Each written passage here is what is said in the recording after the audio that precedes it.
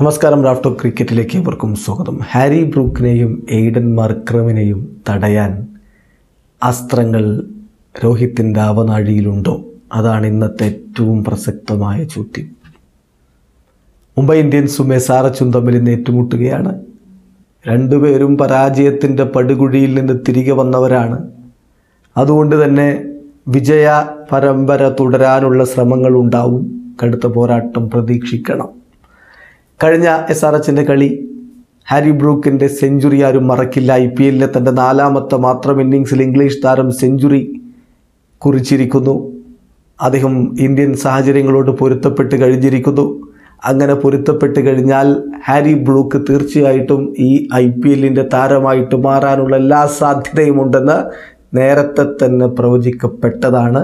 ആ പ്രവചനങ്ങൾ സാധൂകരിക്കുന്ന തരത്തിലുള്ള ഒരു ഇന്നിങ്സ് വന്നു കഴിഞ്ഞു. ഇനിയും ഉണ്ടാകുമോ അത്തരം ബാറ്റിംഗ് വിസ്ഫോടനങ്ങൾ എന്നുള്ളതാണ് എസ് ആർ എച്ചിന്റെ ആരാധകർ ഉറ്റുനോക്കുന്നത്. അപ്പോൾ മൈഡൻ മർക്രാമിന്റെ ബാറ്റിംഗ് കഴിഞ്ഞ മത്സരത്തിലെ ക്യുക്ക് ഫിഫ്റ്റി. അതൊക്കെ അവർക്ക് പ്രതീക്ഷയേകുന്നുണ്ട് അതേസമയം എം ഐയെ സംബന്ധിച്ചിടത്തോളം സൂര്യകുമാർ യാദവ് വീണ്ടും റണ്ണടിച്ച് തുടങ്ങിയിരിക്കുന്നു. ഇഷാൻ കിഷൻ പഴയ ഇഷാനായി മാറുന്നു. പിന്നെ ടിം ഡേവിഡും ക്യാമറൺ ഗ്രീനും രോഹിത്തും ഒക്കെ ചേരുമ്പോൾ വലിയ പ്രതീക്ഷകൾ അവർക്കുമുണ്ട്. ആകെ ഒരു സംശയം ജോഫ്രെ ആർച്ചറുടെ കാര്യത്തിലാണ്. ആദ്യ കളി കളിച്ചതിന് ശേഷം അദ്ദേഹത്തിന്റെ കൈമുട്ടിന് ചെറിയ നീക്കുള്ളത് നഴ്സിംഗ് നടത്തിക്കൊണ്ടിരിക്കുകയാണ്. ഈ കളി അദ്ദേഹം കളിക്കുമോ എന്ന കാര്യം ഉറപ്പില്ല. ഉണ്ടെങ്കിൽ അദ്ദേഹം കളിക്കും. അദ്ദേഹം ഫിറ്റാണെങ്കിൽ അദ്ദേഹം കളിക്കും. ഇല്ലെങ്കിൽ അദ്ദേഹം പുറത്തിരിക്കുന്ന സാഹചര്യമായിരിക്കും. എങ്ങനെ മുംബൈ അത് ഹാൻഡിൽ ചെയ്യുമെന്നുള്ളത് കണ്ടറിയണം. എന്തായാലും പെട്ടെന്ന് തന്നെ പൂർണമായും പരിക്ക് ഭേദമാവാതെ ആർച്ചറെ കളിക്കളത്തിലേക്ക് വിട്ട് ഒരു റിസ്ക് എടുക്കാൻ മുംബൈ ഇന്ത്യൻസ് തയ്യാറാവില്ല എന്ന കാര്യം ഉറപ്പാണ്. ഇനി നമുക്ക് ഇമ്പാക്റ്റ് പ്ലെയർ സ്ട്രാറ്റജിയിലേക്കും മറ്റുമൊക്കെ ഒന്ന് പോകാം. സൺറൈസേഴ്സ് ഹൈദരാബാദിന്റെ ഭാഗത്തേക്ക് വരുമ്പോൾ അവരുടെ കോമ്പിനേഷനിൽ മാറ്റമൊന്നും ഉണ്ടാക്കാൻ സാധ്യതയില്ല. വാഷിങ്ടൺ സുന്ദറിനെ കൂടുതൽ നല്ല രൂപത്തിൽ ഉപയോഗപ്പെടുത്താനുള്ളൊരു ശ്രമം എന്തായാലും അവർ നടത്തും. എന്തായാലും ആദ്യം ബാറ്റ് ചെയ്യുന്ന ഒരു ഘട്ടത്തിലാണെങ്കിൽ അവർ വാഷിങ്ടൺ സുന്ദർ കൂടി ടീമിലുണ്ടാകും പിന്നെ ആ ഒരു ഇന്നിങ്സ് ബ്രേക്കിന്റെ സമയത്ത് ഹാരി ബ്രൂക്കിന് പകരം ടി നടരാജൻ ബൗളിങ്ങിന് വേണ്ടി എത്തുന്ന സാധ്യത സാഹചര്യമായിരിക്കും ഉണ്ടാവുക.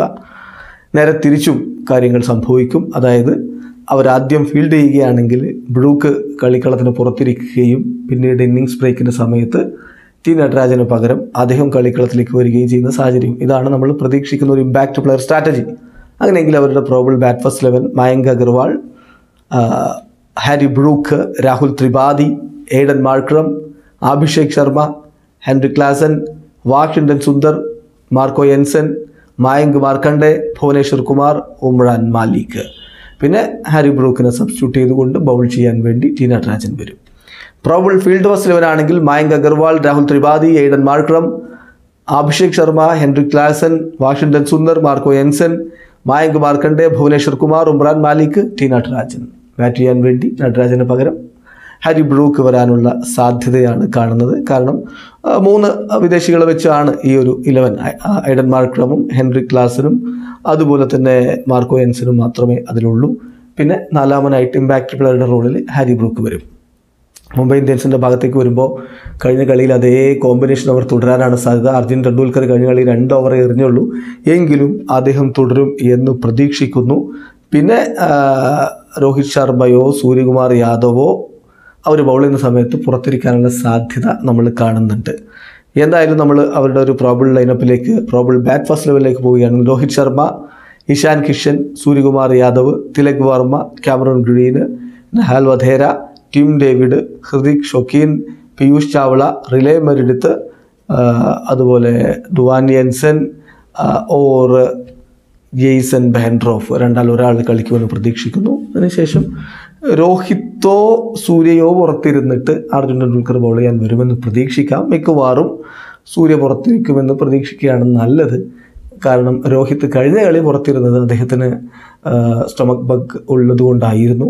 ഇത്തവണ അത്തരം പ്രശ്നങ്ങളില്ലെങ്കിൽ അദ്ദേഹം തന്നെ നായകനായിട്ട് ഫീൽഡ് ചെയ്യുന്ന സമയത്ത് കാര്യങ്ങൾ നിയന്ത്രിക്കും. ഇനി പോസിബിൾ ബൗൾ ഫസ്റ്റ് ലെവലിലേക്ക് പോയാൽ Rohit Sharma Ishan Kishan Tilak Varma Cameron Green Nehal Wadhera Tim David Hrithik Shokeen Arshad Khan or Arjun Tendulkar Piyush Chawla Riley Meredith Duan Jansen or Jason Behrendorff. ഇതാണ് നമ്മൾ പ്രതീക്ഷിക്കുന്നത്. പിന്നീട് അർജുൻ ടെണ്ടുൽക്കറോ or Arshad Khan. അതിൽ ഒരാൾ പുറത്തേക്ക് അതിൽ ആരാണോ കളിക്കുന്നത് അത് പുറത്തേക്ക് പോയിട്ട് സൂര്യകുമാർ യാദവ് ബാറ്റ് ചെയ്യാൻ വേണ്ടി വരാനുള്ള സാധ്യതയാണ് കാണുന്നത്. എന്തായാലും നല്ലൊരു പോരാട്ടത്തിലുള്ള അരങ്ങൊരുങ്ങി കഴിഞ്ഞിട്ടുണ്ട്. ഒരു കിടിലൻ പോരാട്ടം ഇന്ന് രാത്രി ഏഴ് മുപ്പതിന് നമുക്ക് കാണാം. വീഡിയോ സാധിക്കുന്ന ക്രിക്കറ്റ് ലോകത്തെ കൂടുതൽ വിശേഷങ്ങളുമായി റാഫ്റ്റോക്സ് വീഡിയോ എത്താം.